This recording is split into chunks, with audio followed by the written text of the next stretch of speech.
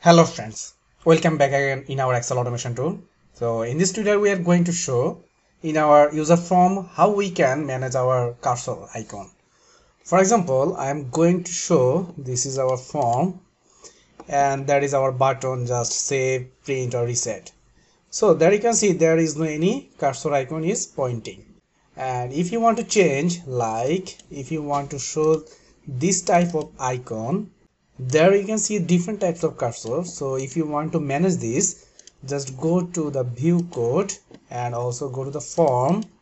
And this is our record button where we want to change our cursor icon. Just so there you can see there is a two option is mouse icon and another is mouse pointer.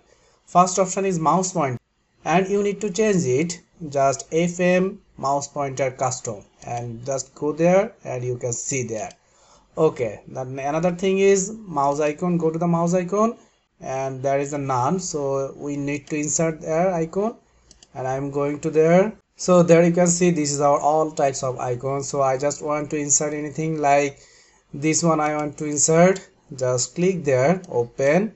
Okay so another is button is click there and also go to the mouse icon and i want to insert uh, this icon. So so there are two button we have inserted our custom icon. So if you want to see just run. And when you hover the button then you can see there is a appear a new icon there. This is our custom cursor icon. And another button is you can see this is change it.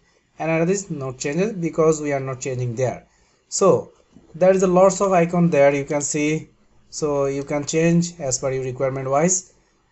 And that's all all our icon will be available in our excel automation tool. Download a platform so you can see there are lots of automation tool available there so you can download it as per your requirement wise.